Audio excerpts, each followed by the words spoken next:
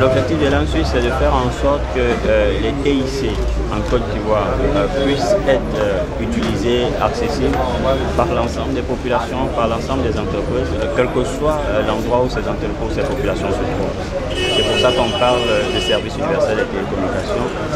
C'est un mot qui est utilisé pour désigner le caractère de ce qu'on souhaite que ces services soient accessibles par tous sans discrimination.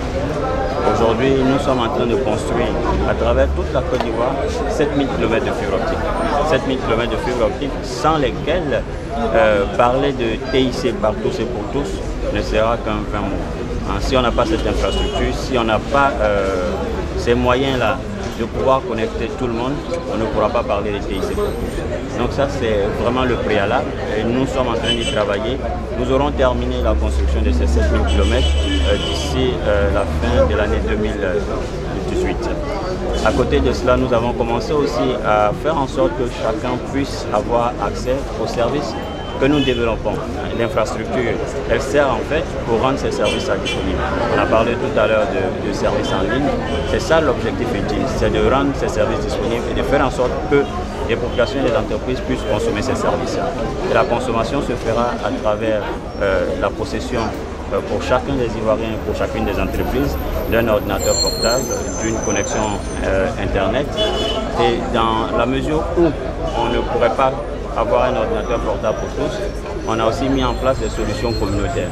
Hein, c'est pour cela que nous avons construit à travers le pays euh, quelques cybercentres qui permettront aux personnes qui n'auront pas pu avoir leur propre ordinateur, leur propre connexion Internet, de pouvoir toujours consommer ces services-là à travers ces centres euh, communautaires. Un lambda, il a besoin d'une attestation euh, de nationalité, un certificat de nationalité ou, d'un acte de naissance. Le citoyen lambda se lève, il quitte Abidjan parce qu'il est né à Wangolo, il prend le, le car jusqu'à Wangolo, il fait sa demande euh, de certificat euh, de nationalité ou d'acte de naissance. Aujourd'hui, c'est de faire en sorte que le citoyen lambda n'ait plus à faire ce déplacement, n'ait plus à perdre ce temps, n'ait plus à faire cette dépense euh, d'argent, qu'il puisse aller dans le premier centre disponible faire sa requête simplement à travers euh, ce que tout le monde sait aujourd'hui utiliser, l'Internet.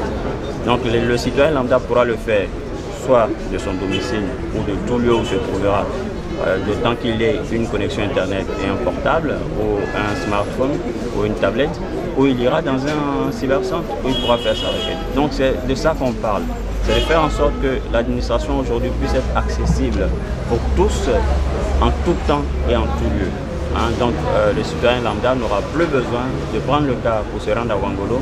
Il ira simplement euh, trouver une connexion Internet et il fera sa requête et il aura son certificat euh, de nationalité ou son acte de naissance dans le bureau de poste le plus proche.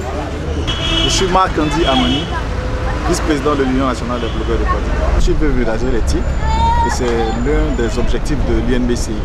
Et avec l'ANSUIT, les membres de l'INDCI iront à travers les villes de la Côte d'Ivoire pour former les jeunes.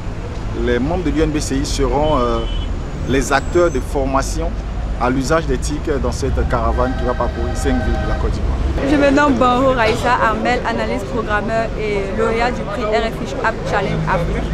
Donc l'idée pour nous c'est d'inciter les jeunes et de leur donner des rudiments pour qu'ils aient des, armes pour pouvoir entreprendre dans le milieu du numérique. Donc c'est un peu une formation de qualité, un contenu très pratique avec des exemples très concrets pour qu'ils aient en fait la possibilité d'avoir une idée de projet, d'être accompagnés dans le milieu du numérique.